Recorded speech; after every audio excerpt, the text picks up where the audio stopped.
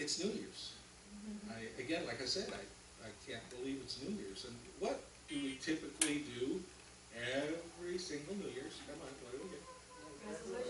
Make resolutions. Right? Well, I thought instead of me telling you about some resolutions as I've done every year, I would just like to show you some resolutions. Go ahead and start that for me. Hombre, ahora los que se corten. Una,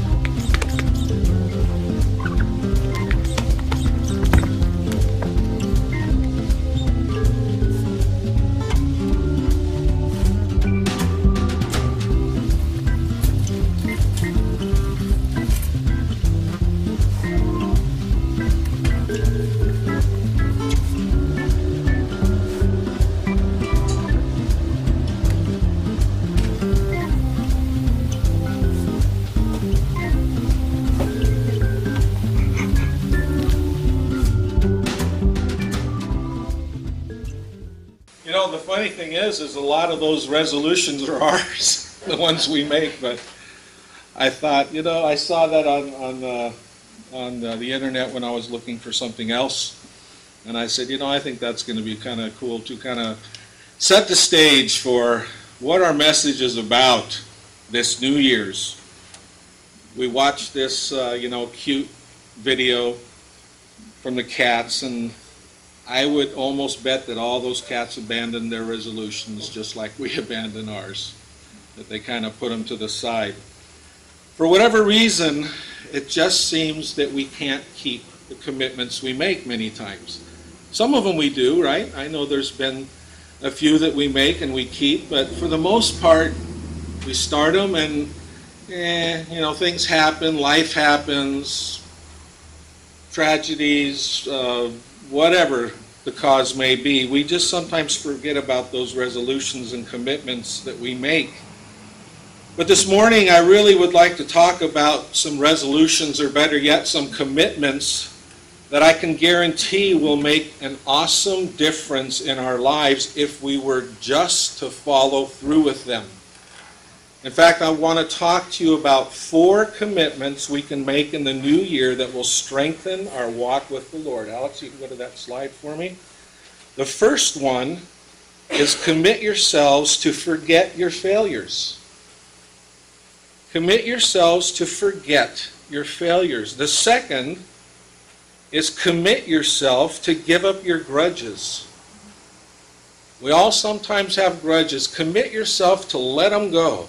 The third one, commit yourself to restore your relationships. Restore your relationships. And the fourth, commit yourself to turn your back on your transgressions or your sins. So I want to pray for our message this morning, and then we'll talk about the first commitment, which is forgetting your failures. Father,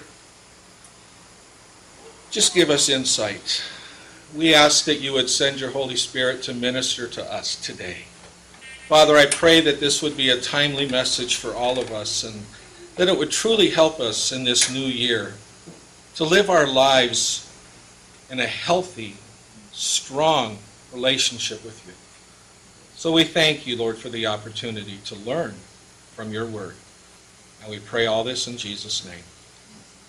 Amen. Commit yourself to forget your failures.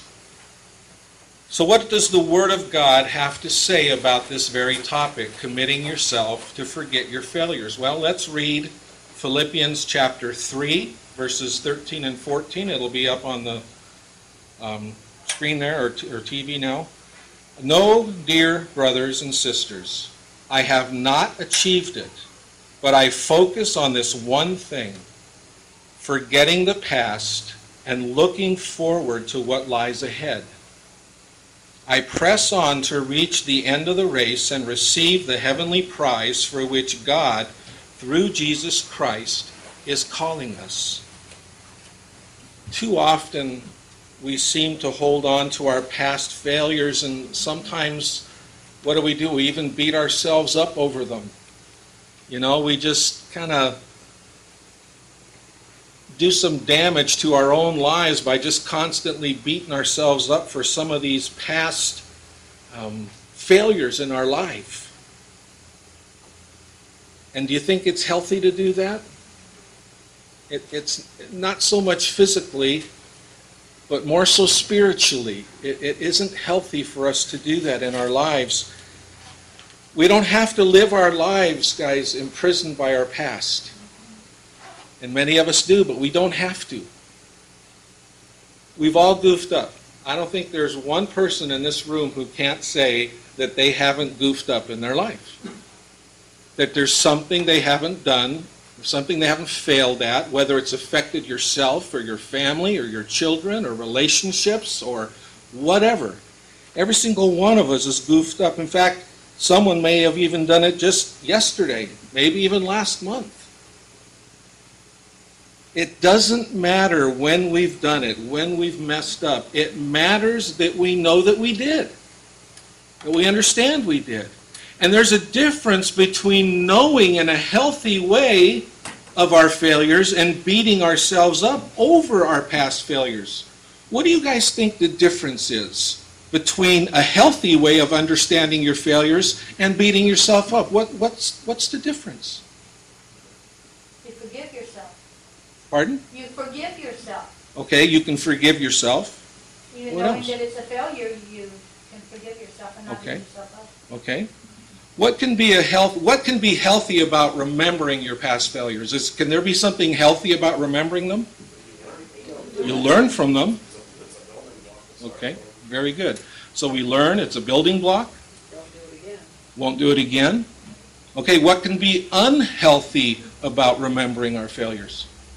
Dwell on that, on that failure. Repeating them. What else? Dwell on it. Yes, I love it. Dwell. You said, Lori. Dwelling on it. Pardon? You keep dwelling on it. Okay, dwelling upon it, I always give it to God and then I keep taking it back. and you keep taking it back. Okay? That's, that's a tough one.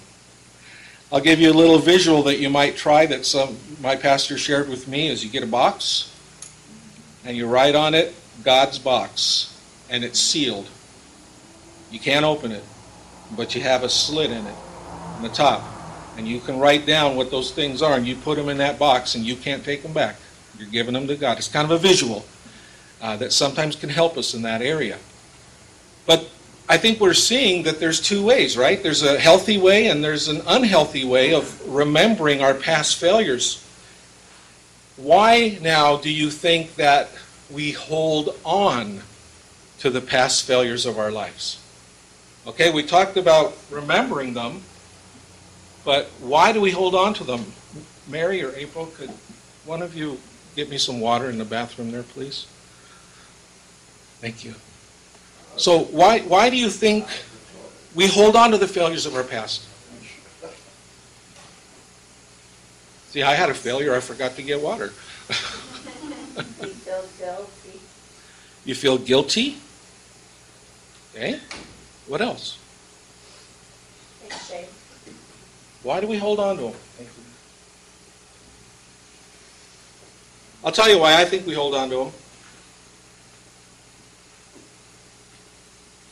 We have a supercomputer up here. Every single one of you have one. God gave it to you. And everything that you've ever done or seen or heard, guess where it is? It's stored in that memory bank. Can't always recall them all, but the ones that are meaningful or the ones that are tragic or the ones that are very difficult are seem to be the ones that always come back. That super brain just keeps playing it back, playing it back, playing it back.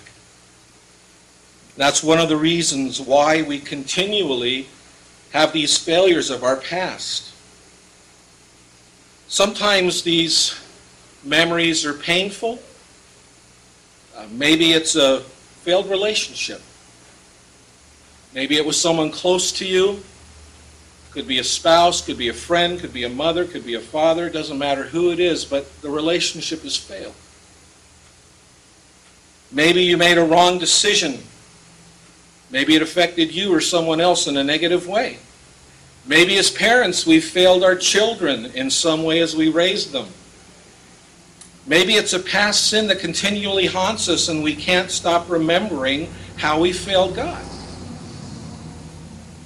Maybe some of the younger teens, if there were any in here, we don't have any, so I'm going to go over the younger teens, but they might remember things that they've done in school, uh, taunting, bullying, right? These things can, can sit with the child for a very long time. I believe that most of us can agree that really we've all failed God at some point in our lives. And what the Apostle Paul is saying here in Philippians chapter 3, he's saying that we must not allow ourselves to be bogged down by these failures, by these past failures. In other words, we can't dwell on the past because it's going to stop us from moving forward into the future that God has for us. And what future does God have for you and me? Well, I'm glad you asked that question because we're going to answer it with a passage of Scripture that I believe many of you I know have committed to memory. And that's Jeremiah chapter 29, verse 11. For I know the plans I have for you, says the Lord. They are plans for good and not for disaster, to give you a future and a hope. Does that just apply to some people? To some Christians? Listen, that applies to every one of us in this room. God knows the plans He has for you. Now, He's saying, I know.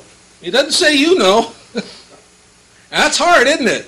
But He says, I know the plans I have for you. But then he clues you in a little bit and he says, Well, I'll tell you this much. They're not plans, or they're plans for good, not for disaster, not for evil, as some of your versions might say. He says, And my plans are to give you a future and a hope. So within his plans, he doesn't have anything in there for you to dwell upon the past and to stay in the past and beat yourself up. Jesus Christ died on the cruel cross of Calvary so that each and every one of us seated here today could be forgiven. And there was no other way that this could be accomplished. The only way we could be forgiven is by his death, by the shedding of his blood. The Bible says without the remission or without the shedding of blood, there can be no remission of sin. His blood had to be shed. So when we gave our lives to Christ, forgiveness became a reality within our own lives. And forgiveness of what we've done, our, to forgive ourselves, to let go of this stuff. God doesn't remember it, so why should we? You see, when we receive the forgiveness of Jesus, it allows us to forgive, forgive ourselves and to forget our failures, to let them go, to not remember them. Maybe someone here this morning needs to be reminded of this fact. I don't know what all of you are going through. I know that I needed to be reminded. I needed to be reminded that I'm forgiven of my past failures, and I have many of them. And many times I they run through my mind. Why? Why did I? Uh, whoa! And it just drives me crazy. And God's just telling me this wonderful reminder, Peter, I don't know what you're talking about. I got a future, not forget the past. I got a future. That's my plan for you. Your future. Forget your failures. You learn from them. Go forward. The cool thing about the Lord is that you can do the very thing that He desires you to do with His strength to let go of those failures. And you can do it right in the quiet of your heart. You can do it right now, even while you're sitting here. You can just say, Lord, I give it to you. I don't want to think about it anymore. Give me the strength to let it go. So, our first commitment to the Lord is to commit to forgetting our failures. And I think that sounds like a pretty good resolution for the new year, don't you? Forget your failures, let them go. Now, let's talk about the second resolution or commitment. Commit yourself to give up your grudges. What does the Word of God say about grudges? Colossians chapter 3, verse 13. Make allowance for each other's fault and forgive anyone who offends you. Remember, the Lord forgave you, so you can forgive others if you feel like it. Oh, did I read that wrong? So you can forgive others. Period. There is nothing after that. Did you catch the challenge there? We're challenged by Jesus himself directly and personally to give up our grudges. That's what it means in verse 13 when it says, and forgive anyone who offends you. What does anyone mean? Anyone? Is anyone excluded from anyone? So anyone always means everyone, anyone that you need to do this to. Let's talk about what a grudge is. What's a grudge? Tell me, what's a grudge? Give me some examples. We all got them. Should be easy. An ill feeling towards someone, Okay, and the ill feeling towards someone. Something that you hold against somebody that they've done to you. Okay. Why is everybody looking at me when they say that? What else? Resentment. Could jealous jealousy be part of a grudge? You're jealous about what someone may have gotten or done or received. They got that promotion instead of you, so you're holding a grudge. There's many, many reasons why we have grudges. A grudge is a deep, ongoing resentment that we cultivate in our hearts against somebody else. I'm going to say that again. It is a deep, ongoing resentment that we cultivate in our hearts against someone else. It's an unfortunate spirit that leads to really unforgiving attitudes and actions. Because sometimes our actions are fueled by grudges. I want to drill down just a little bit further with what a grudge can be. I believe that harboring a grudge is nursing a dislike for someone. Mary, you're a nurse. What does that word nursing mean? Nursing a grudge. Nursing or harboring a dislike for someone. Um, I don't know about that. It just means, You're gonna dwell on it constantly, constantly, constantly. Okay? So when you're nursing someone in the hospital, what do you got to do? You have to be on it, don't you? You got to be there. You got to nurse them. You got, oh, I got to take care of this. You, you know, but now you can nurse in a negative way by nursing that grudge and just fueling it. Keep adding fuel to that that flame to that grudge.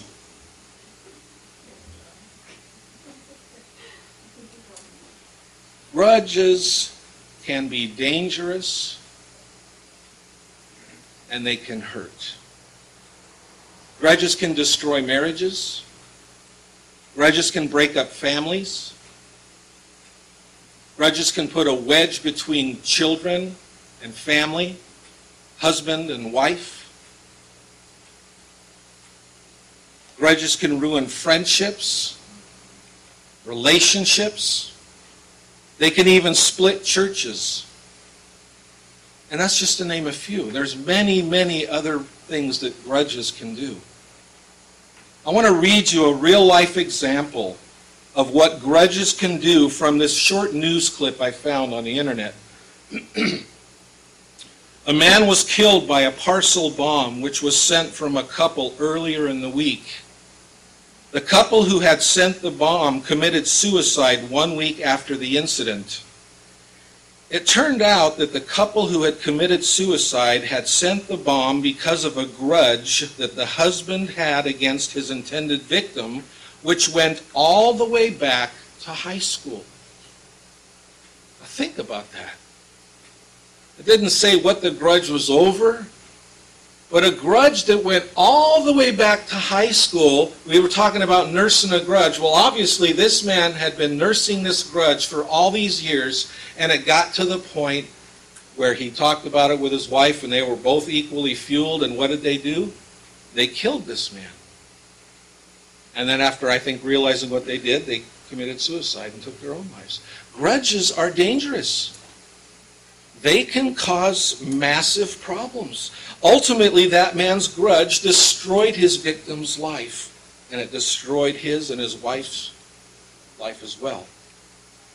We need to understand that if we keep harboring a grudge, then it can eventually cause tremendous problems within our life, and it can even destroy us as it has done to that couple we just talked about. Being destroyed by a grudge can come in many different forms. It could be in the form of physical, emotional, or even spiritual destruction. Grudges can make us bitter and resentful. If you want to see some biblical examples of this, of grudges making us bitter and resentful, we won't cover it this morning. I don't have time. But in your spare time, read Job chapter 21. And that describes people who have no happiness whatsoever and they live and die with bitter hearts because of grudges. I want to read you a quote I found from Max Lucado about this topic. Unforgiving servants always end up in prison. Prison of anger, guilt, and depression. I mean, it's just short, sweet, and to the point. Unforgiving servants, that's us, servants of the Most High. We end up in a prison, a prison of anger, guilt, and depression. And I think I know I found myself in that place, not for long, not for long periods of time, but I know I found myself in that place at times because of grudges. And so that's why, as I was putting this together, it probably, as I've told you before, the messages usually minister more to me than they probably do to you. Because God really busts me sometimes of the things that I do. According to what we read in Colossians 3:13, the way to give up our grudges is to simply forgive. That's the solution. Forgive. And this doesn't mean that you need to ignore whatever this person may have done to you. We're not asked to pretend that it didn't happen. We're not even asked to condone it, but to simply forgive the grievance. We're human. You can not have to pretend it didn't take place. You, you don't have to like the person. You don't have to hang out with a person. But you got to forgive the person. And that comes from here, the heart. And who gives you the strength to do that? Does it, does it come from your intellect? So who gives you the strength to do that forgiveness? It comes again from here, from the Holy Spirit that dwells within you. He's the one that's going to give you the strength to do that very thing. Apart from Him, forget it. You can't do it. If you try to do it in your flesh, you're going to fail miserably. If you sit down and say, "I'm going to, I'm just going to forgive this person. I'm just going to do it," and you you try to do it from your intellect, it's not going to work. You have to be in an attitude of prayer and let the Lord give you the strength that you need to forgive that grievance that you're holding. There's something very important also that I want to talk about that we haven't covered from this passage, and it's not long. And it's the first six words of that verse, which says, Make allowance for each other's faults. Make allowance for each other's faults. What does that mean? What do you think that means with that word allowance for each other's faults?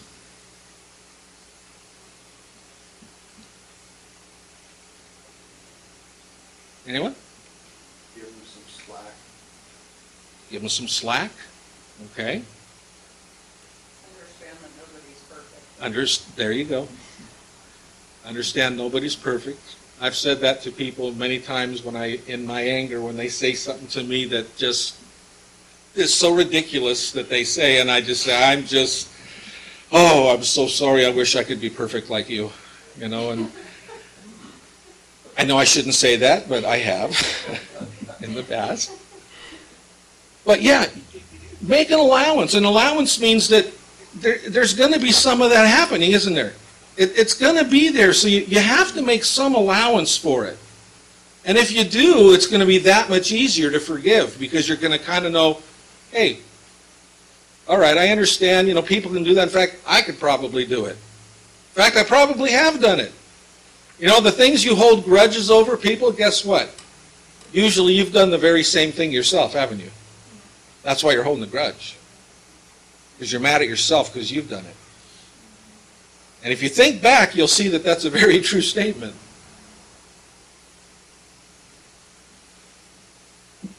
We've covered forgetting our failures, giving up our grudges as these commitments and resolutions for 2017. Let's talk about the third. Commit yourself to restore your relationships. Oh, Peter, not this one, please. Please, I don't, I don't want to talk about this one. For those of us who use computers in our lives, that excludes some of you out there, I know. But for those of us who use them, there are times that we need to check to make sure that our computers are running smoothly. We need to update our virus definitions, clean out the clutter of old files and temporary files that take up space and memory. Sometimes your computer even asks you if you would like it to check and see if things are working correctly. Some of the newer computers have that built into their software. Well, I believe that God in His Word has a very, very similar invitation for us. But the invitation is not for your computer, but to check whether your personal relationships are working as intended, as they should work. Let's read about this in Romans chapter 12, verse 18. There we read, Do all that you can to live in peace with everyone. What does all mean? All. Does all exclude anything? No. So do all that you can to live in peace with everyone. Now, how's that for getting right to the heart of the matter? You see, the important phrase, to live in peace with everyone, is preceded with another important phrase, do all that you can. In other words, do all that you can to restore your relationships. And some of your relationships in your life have gone wrong because of what other people may have done, and they might not want that relationship restored. But I need to tell you, God knows that. He understands that. That's why verse 18 starts out by saying, do all that you can. If somebody has done something to you and they don't want that relationship restored, God knows that. But in a sense, he still says, I still want you to try and do all that you can. That might mean he's going to prompt you to reach out. A person might say no. But eventually, if God keeps prompting you to reach out, eventually that person might say, I'm ready for this relationship to be healed.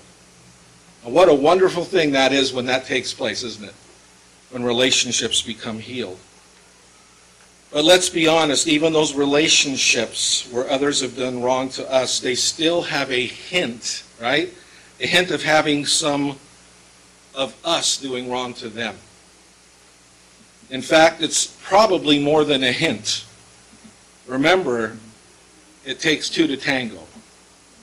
And I know with most, well, everyone in this room, I know that every one of you know what that means. It takes two to tango. I said that to my son the other day, and he looked at me like I was from the moon.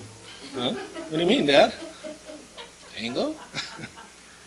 Sometimes you take these things for granted that the, everyone will understand these phrases that we use, but it does. It takes two to tango. It takes two people to have an argument. It takes two people to cause a situation for a relationship to split. It's never a one-way street. And so that's something that we also have to pray about and remember in these times that we ask the Lord to help us to heal relationships. I think reading Romans chapter 12, verse 18 out of another version also adds some insight to what the Lord is asking us to do when it comes to relationships. We're going to read it now out of the ESV. Here it says, if possible, if possible, so far as it depends on you, live peaceably with all. Now, when it says if possible, so far as it depends on you, it just simply means that some of those relationships will depend on you and some on the other party. Enough said on that. You know that it's something that we all have issues with and something that I think every one of us has to work on. But that which depends upon you is more than what we want to admit because of our flesh. We don't want to admit the things that depend upon us to heal a relationship. We always, always want to kind of push the blame to the other as much as we can. You know what the most difficult thing to do is when it comes to restoring relationships? It's forgiveness. That's the most difficult thing to do in restoring a relationship is forgiveness. And the type of forgive the type of forgiveness that we're talking about is asking them to forgive you. Asking for forgiveness, not you forgiving them, but you asking for their forgiveness if you've wronged them. Why is asking for forgiveness so difficult? Why? Speak up because I can't hear the fan. Because you, um, you might feel that, you- um, you're admitting that you're wrong. Okay? You're admitting you're wrong, and you don't want to do that. That's- Maybe you weren't wrong. That's true sometimes too. Sometimes the, the, the majority of it's on the other person. Why else is forgiveness so difficult? And we're talking about asking for forgiveness. Why is that so difficult? Asking someone for forgiveness. Pride. Oh, there it is. Pride. That is the biggest thing that stops us from doing anything we're learning about here this morning for our New Year's message is pride. That's what makes it so difficult to stop. I don't think that I'm the only person in this room who finds it hard to say I'm sorry. To say I'm sorry to the people I've hurt or to the people I've wronged. And I've had to do it. Many of you know that. I've had to do it. I've had to stand before people and say I'm sorry. And it wasn't easy. But I knew it's what God wanted me to do. And He's the one that gave me the strength to do it, just as He will give you the strength to say, I'm sorry for what I've done to you. Even if you feel that the majority of the blame is on the other, it's still okay to say, I'm sorry. There's a scripture that says when you show this type of kindness to people, right? It says it's like heaping what? Coals upon their head, hot coals upon their head. They're being ministered to. And they're being convicted by your kindness, by you reaching out. There's people in my life that I do still need to approach to try and restore relationships with. And I know it's not easy, but I know that the Lord will give me the opportunity if I ask. And that's the key. It's too easy to push away and not ask. The difficult thing is to ask and say, Lord, if I need to reach out to a relationship to ask for forgiveness, show me. Show me who it is. Give me an opportunity. Bring up a situation. You have not because you ask not. That doesn't just work for getting a brand new Cadillac, right? Have not because you ask not means for spiritual things. You have not because you're not asking, you're not seeking. And when we do, God answers. And He answers in miraculous ways. Pastor Keith Drury, uh, I found on the internet, says this about restoring relationships. Restitution deals with more than property. It is also going back and making things right for hurtful things I've said or done. It's far easier for me to tell you some story than to tell you of the difficult and painful times I've had to ask my wife, my boys, my boss, friends, and secretary to forgive me. Restitution is asking forgiveness for harsh words, a quick tongue, or cutting remarks. It is asking forgiveness from a brother you hurt, a mother you caused heartache to, or a former spouse which you hurt. Restitution is confessing and seeking forgiveness from an old business partner, neighbor, or roommate. It is admitting my past errors and relationships and humbly seeking forgiveness from the ones I've hurt. And it's harder to make personal restitution than property restitution. It's a lot easier to say, let me open up my checkbook and write you a check for the damage. It's much easier to do that than it is to do personal restitution. Maybe some of us are feeling a little on edge on this one because I said this is the tough one. Maybe we're feeling a little on edge and saying, come on, Pete, let's move on. There's something stirring inside you, you don't like it. You don't want to deal with it. Well, I've got good news for you, and I've got bad news. Which one do you want first? Well, I'll give you the good first because you said that. The good news is that our feeling on the edge, this gnawing inside us, if that's what's happening to you, that's not coming from you. That's coming from the Holy Spirit. That's good news. Because He's alive and well inside you. And He's ministering, and He's prodding, and He's poking. That's good news. The bad news is that we need to get out of our comfort zone and we need to do as the Lord asks us and ask Him for the opportunity. So, we've talked about forgetting our failures, giving up our grudges, restoring relationships, and many are going, pass this one. Let's go to the last one. Commit yourselves to turn your back on your transgressions. Did you know that history shows us a very interesting fact about the, the Civil War? At the end of the war, the slaves, they'd been set free because they were in bondage before the war ended. So they were set free from that bondage, but many slaves decided to stay with their former masters and to continue living as slaves.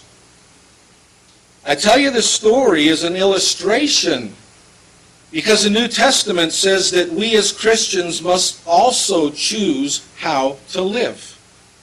Jesus died to set us free, and the Holy Spirit has given us the power to be free. But just like those former slaves, many Christians still choose to obey their old master. Who's their old master? Sin. Right? So many times Christians continue to want to obey their old master, sin. I want you to listen to what Paul says about this in Romans chapter 6 verse 12. He says, Let not sin, therefore, reign in your mortal body to make you obey its passions. That's pretty cut and dry. Don't let sin reign in your mortal body to make you obey its passions. It's a great way to bring in the new year by committing in our hearts to not let sin control the way we live and to not give in to its lustful desires. And we have the benefit of having the Holy Spirit who's ready, willing, and able to help us accomplish this very goal within our lives. So we know the Lord wants us to turn our backs on our transgressions. And this brings up one question that is very important, I believe, for every Christian to understand. And the question is, What is the difference between sin, transgression, and iniquity? In Psalm 32:5, let's read that to give us some insight. It says this, I acknowledged my sin to you, and I did not cover my iniquity. I said, I will confess my transgressions to the Lord, and you forgave the iniquity of my sin. And Selah is just a pause. Meditate on that is what it means. Well, what is he saying? So, we see sin, iniquity, and transgression all in this one verse. Now, these words, they all communicate the same idea. They communicate evil and lawlessness. Yet at the same time, each of these words carries a different meaning. Sin simply means to miss the mark. Okay, you missed the mark. Sin also has some additional meanings, such as doing something against God or against a person. In addition, it means doing the opposite of what is right, or doing something that will have negative results. It can also mean failing to do something you know is right. Now, a transgression refers to presumptuous sin. It means to choose to intentionally disobey. To intentionally disobey. Samson did this by intentionally breaking his Nazarite vow and by cutting his hair. That was a transgression. Lori, did you I- need? I need a couple of men, please. I need a couple of strong men. Butch took a fall, he's okay. He's okay? All right. Well, I guess the Lord wants me to talk to you ladies. Huh. Wonder what that's all about. So we know what a transgression is, right? We talked about that. Failing to do something that we know is, or, or failing to do what we know is right, or a premeditated choice. Now, iniquity, that's thinking about it, planning it, meditating on what you're going to do without any repentance. That's iniquity. David committed an iniquity when he purposed in his heart to kill Bathsheba, or not Bathsheba, but her husband Uriah. Now, you remember the story, what he did. He was an adulterer with her, and he didn't want to get caught, so what did he do? He planned. He planned what he was going to do. He purposed in his heart that he was going to kill this man. That's an iniquity. The Lord wants us to stop obeying our old master. When Jesus died on Calvary's cross, he broke the power of sin, and the Holy Spirit gives us the power to resist sin. And for the New Year's, what that means is that we don't have to be defeated by sin, transgressions, or iniquity. We don't have to be. New Year's isn't anything special. It has no magical powers. It's not going to make all these things happen and come true. We all know that. The only thing that the New Year's does for us, it just reminds us of what? A fresh start. We have a fresh start. That's really what it's telling us about. A fresh start that each and every one of us here this morning has so that we can commit ourselves to forget our failures, to give up our grudges, to restore our relationships, and to turn our back on our transgressions. And that means to repent. What does repent mean? Who can tell me? Do a 180. What's a 180? There's sin. I'm walking towards it. And repentance means I do a 180. I turn around and I put my back to the sin and I walk the other direction. I walk the. Not the dove, but to the cross. That's in the dove. That's what repentance is.